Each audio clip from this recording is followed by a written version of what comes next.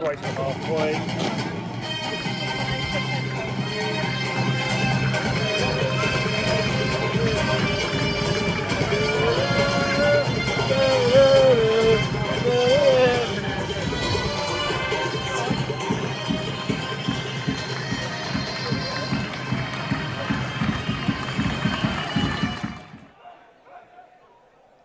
Got three players to try and get round, and he wasn't going to be able to get past the third. Now Welling trying to break forward right hand side. Guard trying to make it hard for Papadopoulos, who gets the shot in. Henley dives. But just got a touch, and he did to tip that round the post. You wonder whether that was on target. In fact, Henley perhaps arguing, I'm wondering whether he didn't get a touch to that, and the shot was off target. But it's been given. Going to be taken on this uh, left hand side. That's Vaughan with it. Goes deep. Header goes in. Welling United have taken the lead. Jack Birchall, the centre half, up from the back, getting his head on that corner from the left. And in the 18th minute of the game, it's Tonbridge nil, Welling United 1. Junior trying to look after him and Higgs. In it goes. Was near post, another header, only just wide. Oh, they're causing problems. It was the Tonbridge head which put it out because the referee has given another corner. Lima in there towards screen, who's come over to the right after the corner. In it goes. Still a chance there with Tanga. And Tanga will fancy it. And it goes over the top. Another corner. Third in the game. Five in the wall, including Junaid Mead. I'm sure he's just defending a lower shot.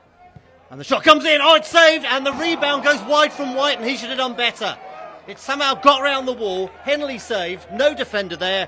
White had the goal to aim at with the goalkeeper lying down.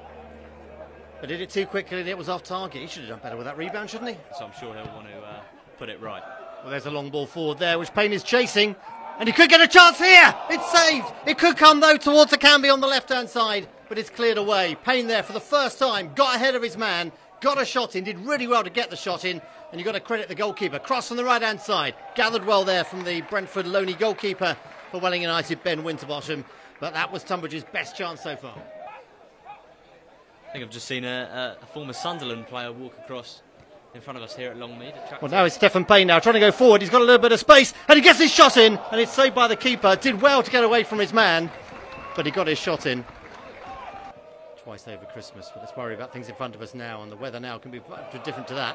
And if Papadopoulos going forward. Does seem to have opened up for him. It's Papadopoulos with a shot, saved by Henley. I'm not even sure that was on target, but Henley didn't know that, and it goes wide for a corner. Junaid Mead there, left with a bit of a predicament. A man to his left, a man running at him with the ball. Who does he defend? It ended up being uh, Johnny Henley forced to make a save. I'm not sure, like you say, if it was going to go in, but he felt he had to put a hand to it. One of those players running around on the edge of that six yard box. Vaughan puts two arms in the air, delivers a ball towards the far post, and it was almost a header in there from Trusty Lima. But if he did make a connection, it wasn't in the right direction. And Tonbridge get the ball back. 18 minutes gone, second half. Tonbridge nil, Welling United one. Higgs about 25 yards out. And it goes, it's low. There's a Canby. Fielding! Well, I'm not sure Fielding really had any conviction with that one. He sort of stuck a boot out at it rather than actually had a shot. But it was very nearly effective.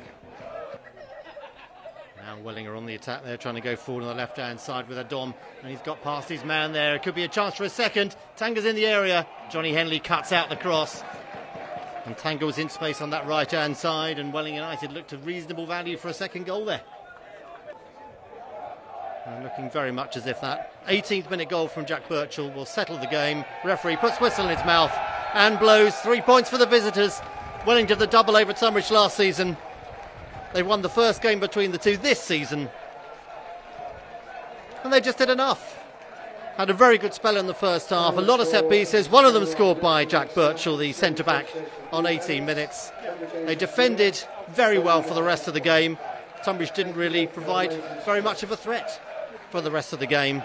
It's two wins out of two over this bank holiday weekend for Welling. It's two defeats out of two for Tonbridge Angels. Both sides now on six points.